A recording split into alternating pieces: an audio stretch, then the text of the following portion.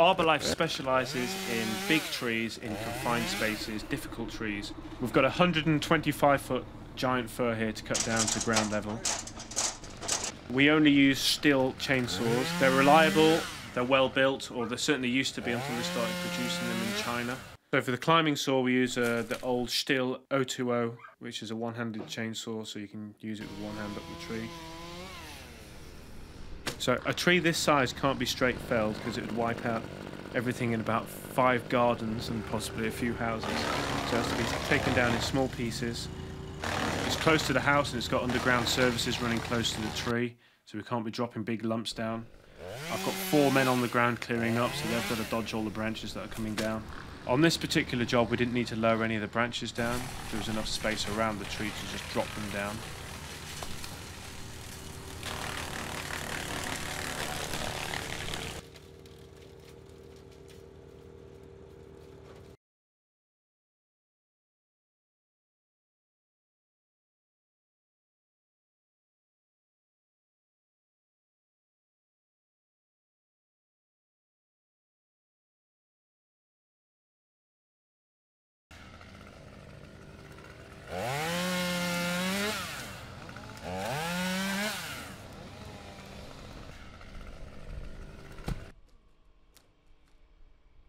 So um, in the morning, we took all the branches out of the tree, cut all the branches off, so it was down to a pole.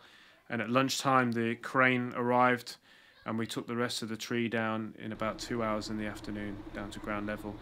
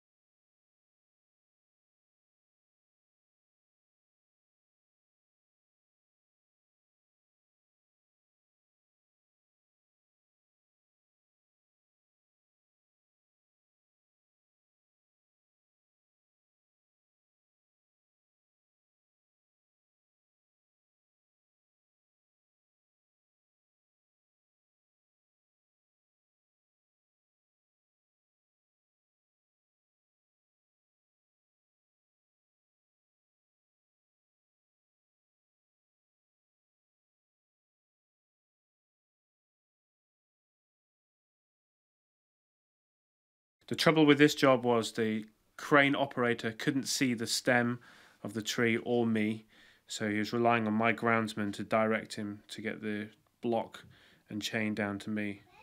So it required quite a bit of communication.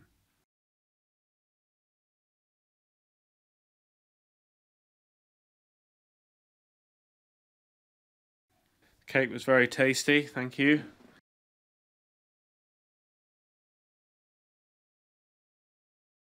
So as we got uh, lower down the tree, the diameter of the tree got bigger. It was five foot at the base. We needed to change the blade over onto the biggest blade uh, we can put on a Stihl 8.8 chainsaw.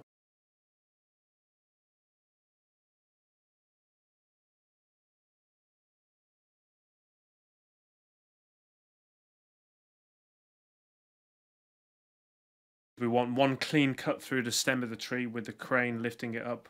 We don't want to be double cutting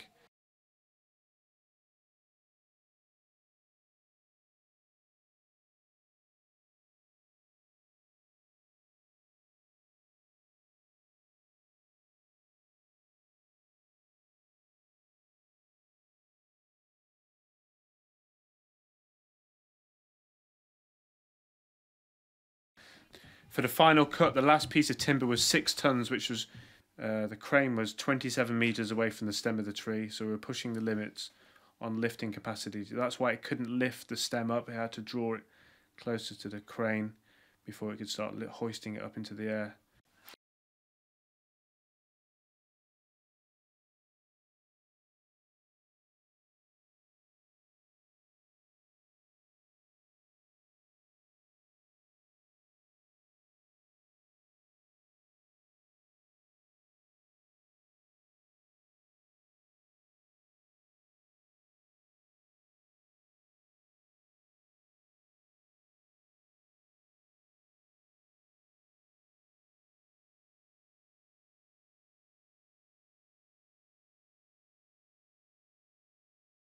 All in all, there's 25 tons of timber and brushwood in this tree that we took down.